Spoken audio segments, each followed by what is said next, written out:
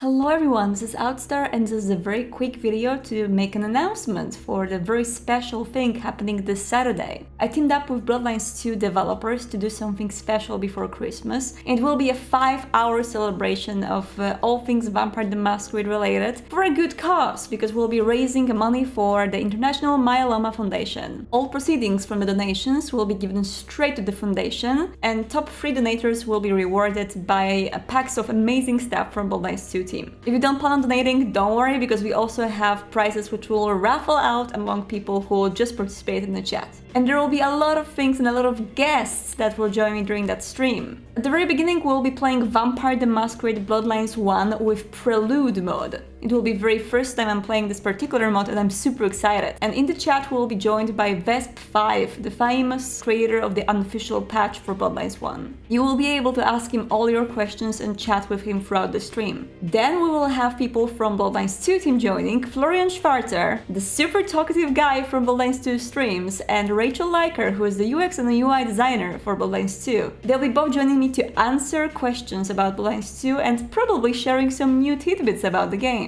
Right after, we will have a special guest, Josephine McAdam, who you may know for playing amazing Tremere Eva in LA by Night. And last but not least, I will be playing and voice acting Coteries of New York, the new Vampire the Masquerade game with my friend and special guest Aavak. It's going to be 5 hours of Vampire the Masquerade bonanza and I really can't wait to do this. So I hope for all of you to join me and have a tender time during that stream. More details in the description of this video and on bloodlines2.com. Don't get lost in the night and see you live on Saturday. Bye!